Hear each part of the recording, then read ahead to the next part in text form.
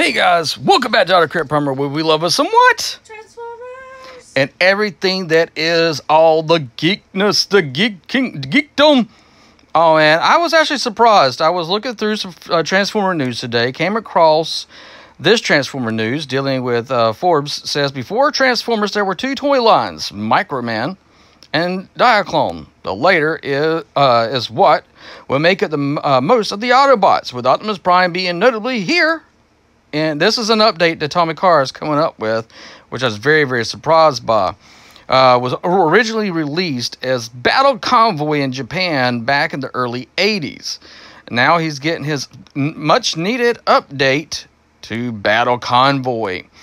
Now, with this, you're going to get to see uh, all this niceness. I mean, this is this is a really nice looking Optimus Prime. I mean, it's very space age, and I was very very surprised by this when I saw this coming out, and that uh, with all the details that you're seeing here in the treads. But they said it's time now, and you know this was picked up by Forbes uh, Accounting. That's sitting there telling us about businesses and what they're planning to do.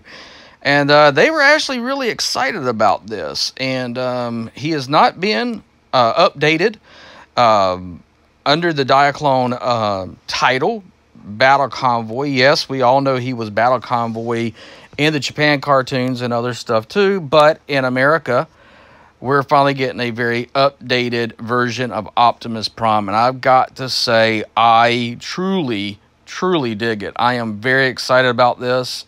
Uh, it depends on the price whether or not I'll be able to afford to get it, but I am happy that they're doing it.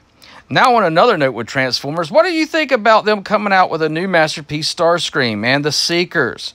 Are you really need to update your Seekers right now? I mean, think about it. I mean, if you get uh, the masterpieces and you turn around and you're now getting the Earthrise Starscream, and you're able to get, you know, uh, Skywarp and Thundercracker do we really need to have another masterpiece figure made of Starscream? I mean, trust me, I get it.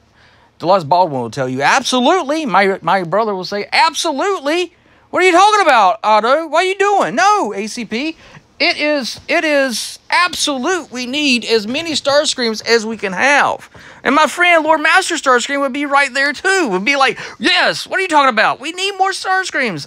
Me personally, I'm kind of happy with what we've got so far. But hey, you know what? You love you, you love who you love, and that's all that matters. So if you want to get like a thousand Starscreams, y'all go right ahead. Have your little shrine, bow down to it. I don't care. But at that, me personally, I do dig the way this looks. Um, but I do bring up the question, you know, is it do we really need a new Starscream at this time?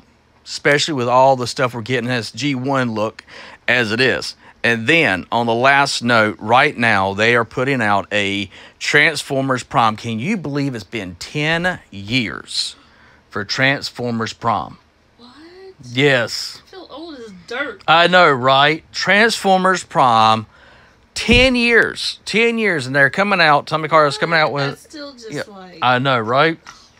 It's, it's just like, what? What are you doing? But we do have that coming out, which I am I'm, I'm pretty excited about. I was I was kind of like on the fence, but then I was like, you know, it's going to be like a little bundle pack and have all these little extra things in it. So, yeah, I might be down for that. But let me know what you think down in the uh, the comments down below. Are you going to get it? Are you looking forward to it? Can you believe it's been 10 years for Transformers Prime? And could that be the hint of what our next trilogy will be? Will be based off of the Transformers Prime. And that is alarm to say, wake up and get your coffee. Y'all have a good one.